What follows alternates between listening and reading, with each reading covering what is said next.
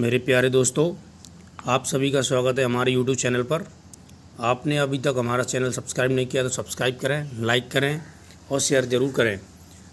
आज हम पढ़ने वाले महत्वपूर्ण क्वेश्चन एमपी जीके जो मध्य प्रदेश सामान्य ज्ञान के हैं। तो हमारा चलिए, पहला क्वेश्चन ये है कि कालिदास सम्मान के क्षेत्र में दिया जाता है। तो ऑप्शन ए संगीत, ऑप्शन बी नृत्य, ऑप्शन सी साहित्य और ऑप्शन डी है सिनेमा। तो आप ये कालिदास सम्मान जो दिया जाता है, वो साहित्य के क्षेत्र में दिया जाता है। ये कब से देना स्टार्ट किया गया है? दोस्तों, ये साहित्य के क्षेत्र में दिया जाता है। कब से दिया गया है? उन्नीस सौ इक्यासी से अस्सी से। उन्नीस सौ अस्सी से दिया जाता है। कितने रुपए दिया जाता है? एक लाख रुपए। कितने? एक लाख रुपए। एक लाख रुपए के करीब दिया जाता है। चलिए दोस्तों, अगले क्वेश्चन पर देखते हैं। अगला क्वेश्चन हमारा, तानसीन संगीत समारोह कहाँ मनाया जाता है? Option A Gwalior option B Bhopal option C Chhatarpur option D Rewa. तो अब इसका आंसर होगा ग्वालियर, क्योंकि संगीत समारोह कहाँ मनाया जाता है? ग्वालियर में। मेरे प्यारे दोस्तों, कहाँ पर मनाया जाता है? ग्वालियर में। इसका ऑप्शन क्या है? ग्वालियर में। जो संगीत के क्षेत्र के लिए मनाया जाता है और इसके क्षेत्र में भी कितने रुपए दिए जाते हैं? एक लाख रुपए दिए जाते हैं। चलो तीसरा क्वेश्चन हमारा दोस्तों नृत्य महोत्सव के लिए कौन सा शहर प्रसिद्ध है? तो नृत्य महोत्सव के लिए जो एमपी के कला परिषद के द्वारा ये नृत्य समारोह करवाया जाता है। Option A Orchha, option B Khajuraho, option D Bhopal, option C Chanderi. तो इसमें हमारा जो आंसर है ऑप्शन बी, खजुराहो में मनाया जाता है। ये कब से मनाया जाता है? 2010 से शुरू किया गया है और ये कौन से महीने में मनाया गया था? 2010 से शुरू किया गया है। 2010 से शुरू किया गया है और कब से? एक फरवरी। कब से? एक फरवरी से मनाया जाता है और सात फरवरी तक मनाया जाता है।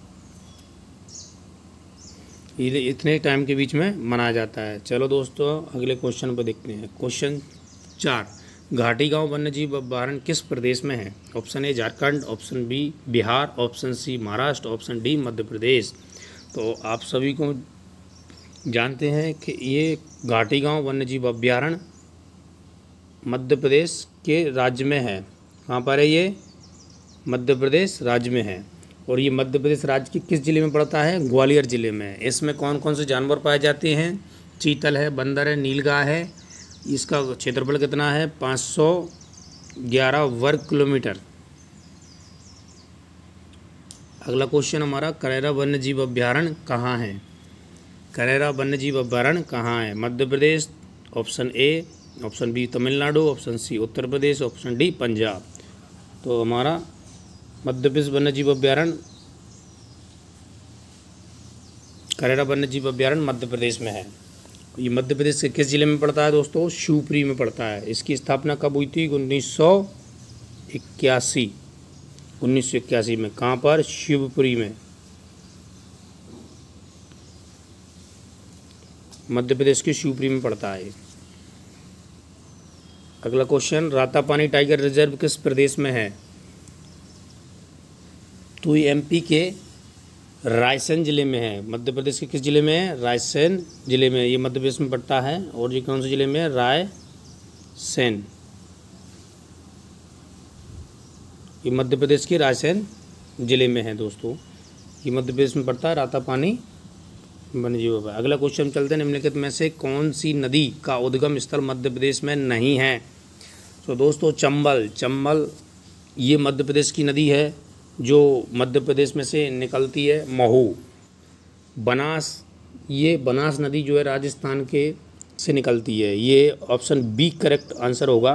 जो बनास नदी है, मध्य प्रदेश से नहीं निकलती, ये राजस्थान से निकलती है और राजस्थान के अरावली के पहाड़ से निकलती है। छिपरा मध्य प्रदेश की नदी है, बैनकम्मा, बैनगंगा, ये शुभनी शुभनी नदी, शुभनी ज़िले के पहाड़ी से निकलती है। चलिए दोस्तों, आप हमारे चैनल को सब्सक्राइब कर